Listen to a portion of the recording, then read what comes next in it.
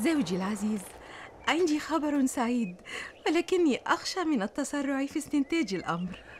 أكاد أتوقع الأمر يا عزيزتي نفرتاري. وماذا تتوقع؟ أنك تحملين بداخلك الآن فرعون مصر الجديد. لا تطلع أحدا على هذا الموضوع حتى نتأكد من الحمل. حسن لن أخبر أحدا. ولا ولا حتى أمك الملكة تويا.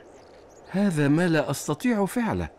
فأمي يجب أن تعلم كل شيء لأن أمي تعني لي كل شيء.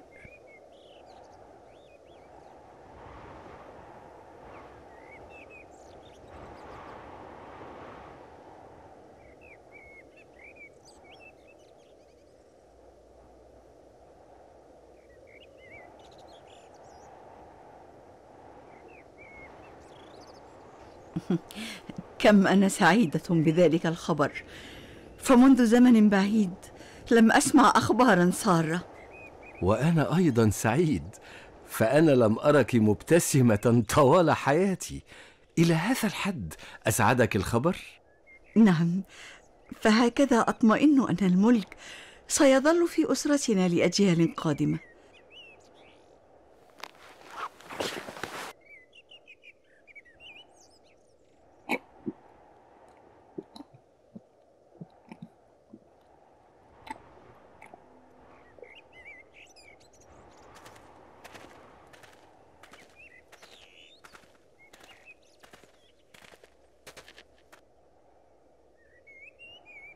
ماذا بك يا فرعون مصر؟ ألم تسمعني؟ بل سمعتك يا أمي. اذا أجبني ماذا بك؟ كنت أتمنى أن يشعر الفرعون الأكبر بهذه الأوقات كي يفرح بالفرعون الحفيد كي يشعر أنه جد. وما أدراك أنه لا يشعر. ربما يشعر ولكن لا يستطيع التعبير عما يشعر به. هل تعتقدين ذلك؟ هل يشعر أبي أنه سيصبح لي ولد؟ بكل تأكيد فالفرعون يشعر بكل شيء عليك الآن أن تفرح وتعلم أن الفرعون الأكبر بجانبك وعليك أن تدير شؤون البلاد بقوة وحزم فالفرعون الأكبر يدعمك ويقف بجانبك حقا يا أمي؟ حقا أيها الفرعون زوجة فرعون حملت ويكابد ابنة لاوي بن يعقوب حملت أيضا. ولكن لا يعلم أحد ما الذي تخفيه الأقدار لكل منهما. فإن يكابد ممن رضي الله عنهم وزوجة فرعون هي زوجة عدو الله.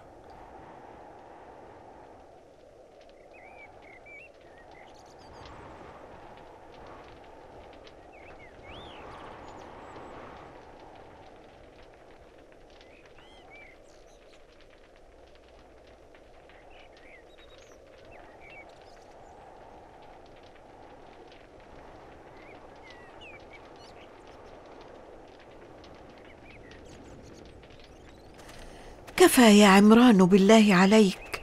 ألا ترغب في أن تستريح قليلا؟ لا أرغب في الراحة.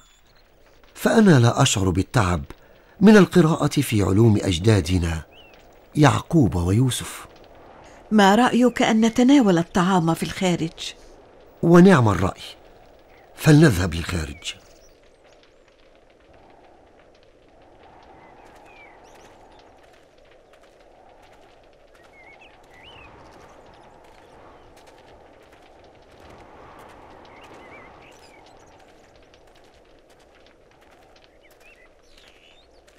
لقد اقتربت ساعة ولادتي يا عمران.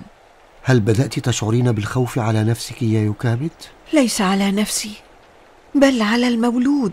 هذه أول مرة. أسمعك تتحدثين بهذا الخوف؟ وأنا أيضا. أول مرة أشعر بهذا الخوف. فليفعل الله ما يشاء. علي أن أذهب لأنام. فلدي عمل شاق غدا في مقبرة الفرعون الجديدة.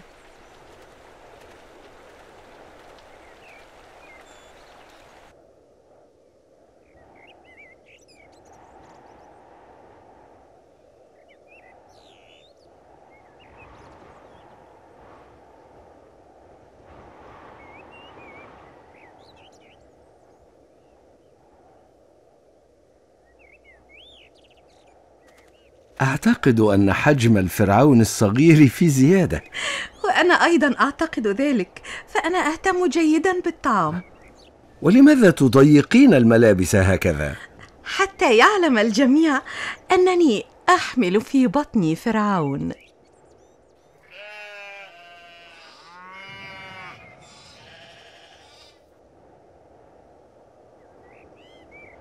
هل يبدو على بطني أي علامات للحمل؟ لا لا لا يبدو شيء عليك. فهذه الملابس واسعة ولا تظهر أي علامات للحمل. نعم. فأنا أرتدي تحتها ملابس ضيقة جدا حتى تقلل من حجم بطني.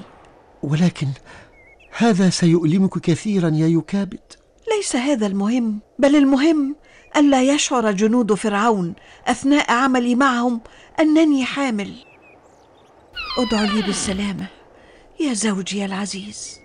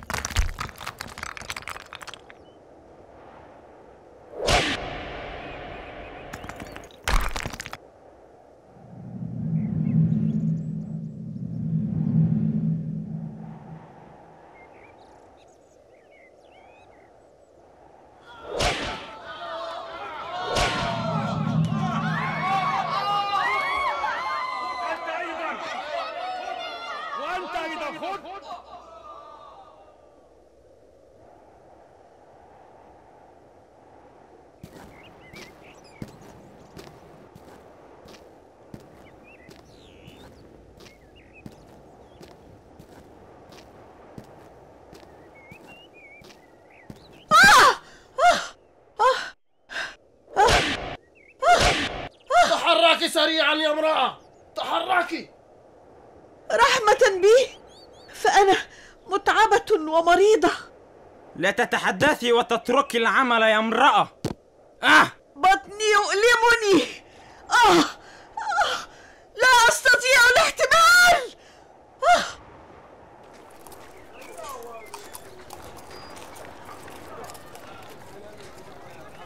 فلترحموني وترحموا زوجتي ومولودي. لما كل هذا الخوف يا رجل؟ تماسك. كيف؟ كيف أتماسك وأنتم ستقتلون مولودي؟ اصبر حتى نتأكد. فإن كانت أنثى سنتركها. ثم إنه يجب عليك أن تعتاد على ذلك الأمر. لأنه ربما يتكرر. فكلما أنجبت طفلا ذكرا سيقتل. أتوسل إليكم. إن جاء ولدا اتركوه أو أعطوني فرصة للذهاب للفرعون كي أتوسل إليه. سنعلم الآن من القابلة التي تساعدها في الولادة إن كان ذكرا أم أنثى.